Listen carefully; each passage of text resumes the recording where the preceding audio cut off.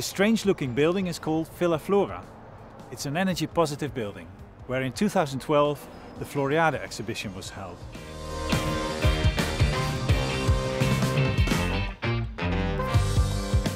We're going to meet the creator of Villa Flora, my teacher, master, Professor Jon Kristinsson, who is an architect and an inventor of many sustainable techniques.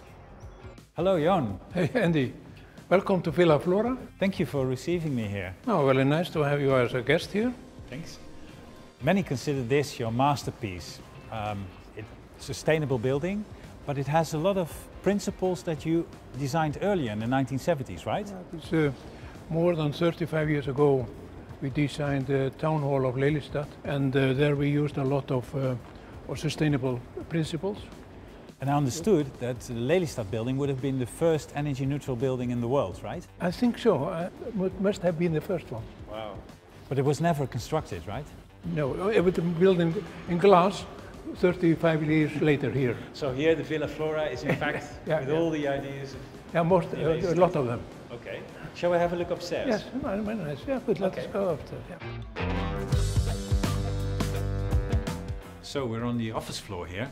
Um, what immediately strikes me is the oddly shaped roof. What is it? These roof shells, they are parabolic form.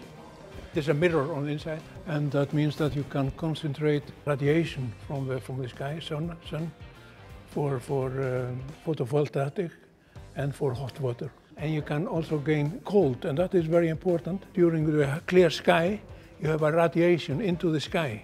So that was the idea, but eventually you basically came up with another secret Yeah. of the energy neutrality. But that is because that the, the um, we can use the, the, the, the radiation in a glass house. You can you can get uh, also gain it with a good heat exchange. So Jon, we're sitting in front of the big hall here. That's where the exhibition was held in 2012. Um, can you tell me, what is this special unit looking like an air conditioning?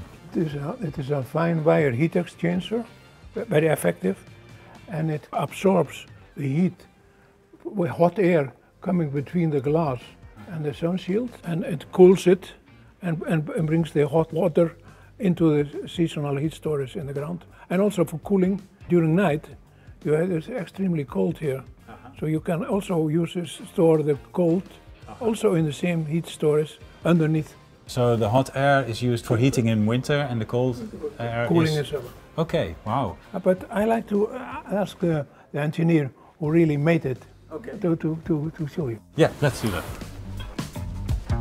Hello Jan, nice to meet you. Hey, good afternoon. Yeah, very nice to uh, welcome you here in Villa Flora. Thank you. Um, so you are the CEO of the company that engineered this building, right? Yes, indeed, we did so, and we did it together with uh, John Kristinsson as architect, the godfather of this building, Yeah. and al- also, also uh, a lot of other parties, of course. huh? So it's energy positive, but I also understood that there's a lot of other sustainability measures that were taken here in the building, right? Yes, of course. Yeah. For example, we used uh, a lot of uh, uh, circular materials, uh, cradle to cradle, and we have a very innovative uh, floor system. Okay. Can we have a look at that? Yeah, of course. You can walk to it. Yeah. Okay. Go this side. And to open the floor, where we have the all the technical things in it. Oops. Yes. Wow. Oh, here it is. So this is all the equipment. Yes, it's all the equipment, all the piping and all the electrical, all uh, IT uh, devices and the fresh air, of course. And when we change the layout of the building, we can make everything on the right place. So it's very flexible. It's very flexible. So, and uh, yeah, the concrete slab is used for the, the heating and the ceiling is used for cooling Okay. Wow. in summer times. So with the water from the, the aquifer. Very efficient. Yeah. Now I've also understood that the building has a biofermentation plant. Yes, we have. Yeah. Can we have a look at that as well? yes, of course.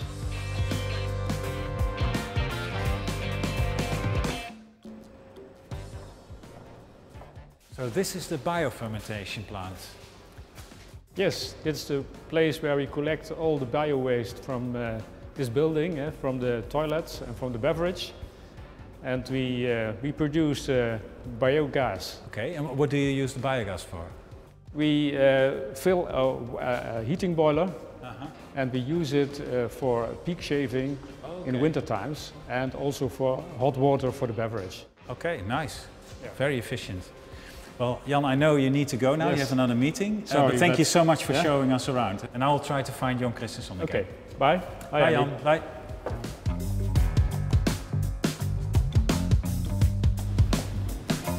Well, Jan, that was really interesting. Very efficient system. Yeah. Thank you. Now, I know you designed this building by the philosophy of integrated design.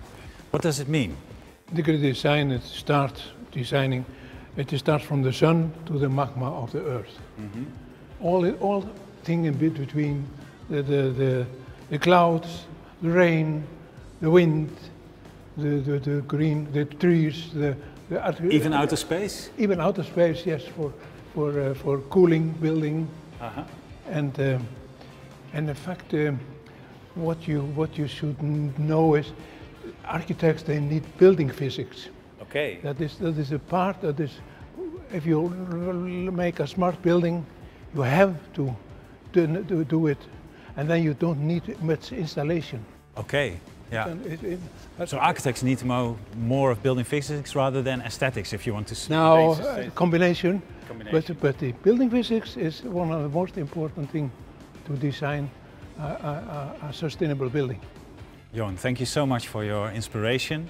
And if buildings like these come from that, I really hope that many people across the world will use those principles also. I would be happy if that can happen. Thank you so much. Thank you, sir. Let's go.